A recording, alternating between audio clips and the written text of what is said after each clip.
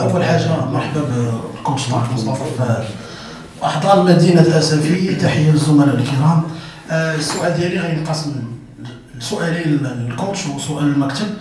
السؤال ديالي هو علاش اشترطي أنك تجيب معك الطاقم ديالك أيضا مصري من معك يعني الشيء اللي حسب التسريبات قال أنه ما قبلوش بعض أعضاء المكتب. كانت شد وجذب انت فرضتيهم هما ما بغاوهمش. الشيء اللي عطل شوية ال signature ديال ال contrat أه السؤال الثاني اعتقد ان الزملاء اللي غادي يقلبوا على اسم مصطفى غادي يلقاو محلل رياضي أو مساعد مدرب واش كتشوف راسك عندك الكفاءه في الوضعيه اللي حاليا فيها الفريق انك قادر بالعربيه تعتق السفينه من الغرق أه الشق اللي خاص بالمكتب هو انكم اعتقد درتوا انتدابات المدربين أكثر من اللعابه وهذيك خصكم تراجعوها أه كلمه قلتيها ودابا قلتي على العلاقات مع المدربين كانت كاملة مزيانة اعتقد شيء جانب صواب لأنه آخر ثلاثة المدربين واحد في المحكمة وجوج خرجوا كيديروا فيكم في الاعلام دونك ما تقولش لي العلاقه كانت مزيانة معاهم.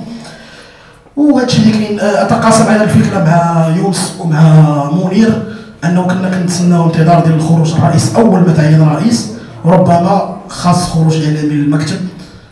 يتواصل شوية مع الصحافة شكرا. سمعني؟ سامعك كويس. طيب. طيب أنا أنا كان معايا برضو مصري في جهاز واتزو. كان معايا كابتن أمير عبد العزيز مدرب مصري. وأنا ما كنتش محتاج احد أنا لما شفت المباريات الأخيرة أو مباريات أولمبيك اسفي حسيت إن أنا محتاج مدرب حراس مرمى. وده من ال من ال من ال من الحاجات اللي أنا يعني فكرت فيها من ملاحظتي للمباريات. فبالتالي الاثنين اللي أنا جايبهم معايا ديالي اسمها ديالي صح؟ عشان الدراري اللي موجودين كلهم يبقى الشغل بتاعنا مترتب وماشي بنظام. أما حتة إن أنا هنقعد أو في الدوري وعندك المقدرة. هو في الأول والآخر هو زي ما أنا قلت في البداية إن شاء الله بإذن الله إحنا دايما عندنا طموح وعندنا أهداف. فانا طموحي وهدفي أنا جاي على هدف واحد. إن شاء الله بإذن الله بتوفيق ربنا سبحانه وتعالى. وتعبنا كلنا إن نكون موجودين في البقاء يعني. وأنا قلت مش إحنا لوحدنا يعني. قلت لأ إحنا وأنتوا كمان ليكوا دور كبير جدا. دور الأكبر الجمهور دور كبير جدا. المكتب نفس الشيء. فلازم الكل يتعاون عشان نوصل للي إحنا عايزينه. وبعد كده آآ يعني نتكلم بقى في إذا كنت بنتكلم بقى في مشروع في مستقبل في في لعيبة تانية ممكن تكون يعني الله أعلم بالمستقبل إيه. لكن إحنا خلينا نتكلم في الحاضر. حاضر إن إحنا لازم كلنا نتعاون عشان نطلع من اللي إحنا فيه. اولا وأنا نسيت أشكر كابتن عبد الرحيم طالبي وقبليه كابتن فوزي جمال. اثنين مدربين كبار جدا جدا جدا وعلى أخلاقيات عالية جدا. وأنا على علاقة بيهم بشكل كبير يعني ولعبنا ضد بعض كتير. هم اشتغلوا وتعبوا. وهو في كرة القدم في الأول والآخر هو توفيق من ربنا سبحانه وتعالى. ربنا موفق ممكن يكون التوفيق مش محالفك محالفك في نادي تاني.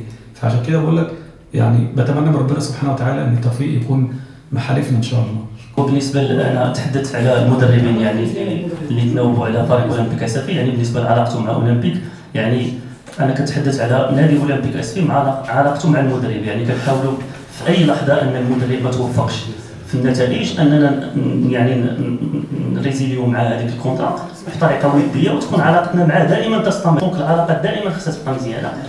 بالنسبة للمدرب اللي خرج ولا عنده مشكل كاين كاينين مشاكل شخصية بين المدرب بين عضو بين رئيس هذاك أشياء أخرى. حنا ما كندخلوش فيها. يعني المدرب اذا خرج قال شي هضرة على هو حر. حنا علاقتنا الحمد لله مزيانه مع جميع المدربين. أما بالنسبة خصوصا الندوة الصحفية أنا ما تقلقوش مني أنا قلت هذيك الهضرة parce que هذاك واقع.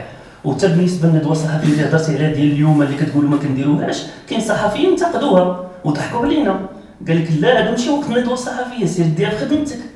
راه هادشي علاش أنا جبت هذا الموضوع؟ حنا بالعكس حنا منفتحين على التواصل ما عندنا حتى شي مشكل. مرحبا بكم في أي وقت غير الظرفية لا تسمح. إن شاء الله نكونوا في ظرفيه مزيانة وتكون الفريق هذه في سكة صحيحة ونكونوا مستقرين.